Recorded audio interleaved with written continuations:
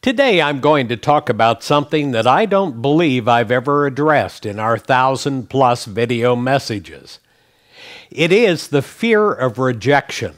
Now, there is a real roadblock that stops many women, many men on their road to success.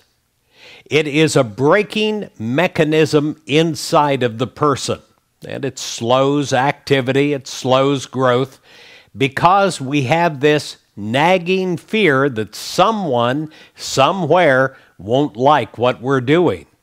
And therefore, we stop ourselves rather than to face that rejection. Here's what Harry Truman once said He said, How far would Moses have gone if he would have taken a pull in Egypt? in our Bible, in James 2, verse 1, it says, My dear friends, don't let public opinion influence how you live out your glorious, Christ originated lives. The fear of rejection and its cousin, the fear of failure, are roadblocks on our way to success and on our way to happiness.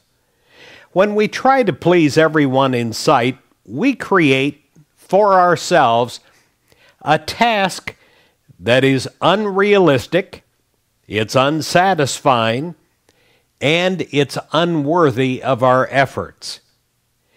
If you're letting the opinions of other people hold you too much back, too much influence the sway of your life, it's time to start thinking brave thoughts with God coming through you and surrounding you.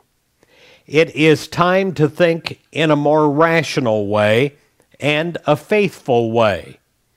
Remember, your worth doesn't come from others, it comes from God. Not public opinion, it comes from God's opinion of you. And let me tell you something God's opinion of you is higher than on your best days of your opinion of yourself.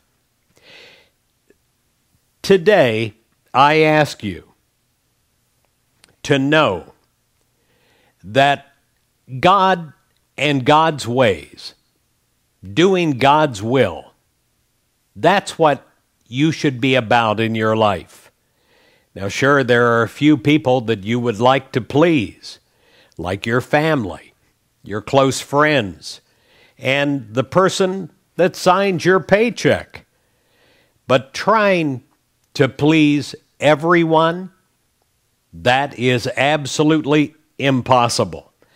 And it's not even what God expects, especially when it comes to choosing between people and keeping the faith. And keeping the faith means keeping the faith in God, but also it means keeping the faith in you and what you're about, the dreams that you have, the God given abilities that you have. You don't let anyone stomp on your dreams or your opinion. Most of the time, my friend, we stomp on our own. We stop short not wanting to be criticized or rejected. So, your top priority should be to please God. And you please God by being the best that you can be.